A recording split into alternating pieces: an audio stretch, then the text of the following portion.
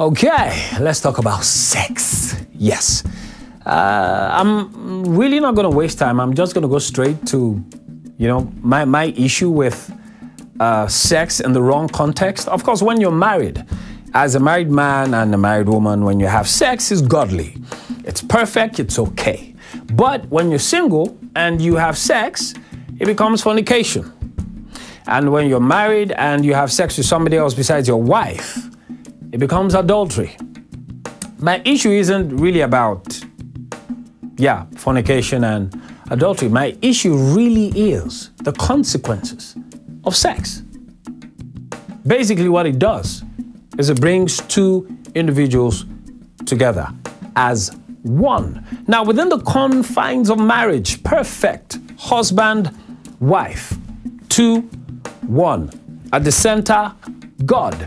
But when you're single and it's fornication, now that's not you, the lady, and the guy, and God in the center. That's the lady, the man, and the devil at the center.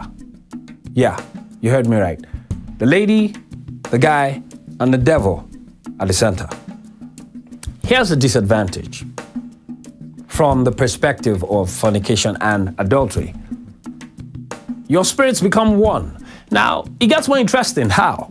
Um, take, for example, Lady A has one spirit, and she's never slept with anybody before. And uh, she fornicates with Mr. B. Mr. B has slept with about maybe two or three ladies.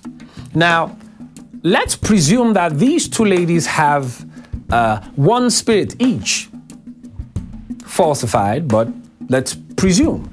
So that's Mr. A has, I mean, Mr. B has uh, two spirits in him already. So Mr. B here has three spirits functioning in his body.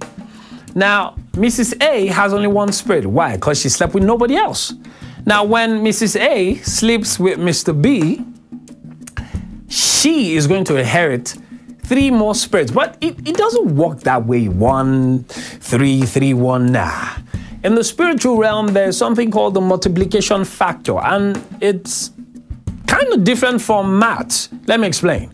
Now, when uh, one man has one spirit and he engages other spirits, like I said, imagine he has two other, he, he slept with two other ladies. And we presume that they both have one spirit each. He has three. Now, here's the problem. When he sleeps with her, the other two spirits that have latched onto him are going to have access to her. So, if the first lady has a spirit of, uh, say, masturbation, and the second lady has a spirit of anger, now those two spirits already would have found a host in the guy. The guy is the host, and they're already, you know, having some nice time with the guy. The only problem is this see those two spirits? When they find a new host, they don't come uh, into that host alone. So the spirit of masturbation goes and looks for seven more wicked spirits than itself to host the guy. So that's one spirit of masturbation with seven more wicked spirits. That's how many? Eight. So eight spirits will invade Mr. Mr. B. Now, the other lady, who has the spirit of uh, maybe, uh, let's say, lies or anger, for example.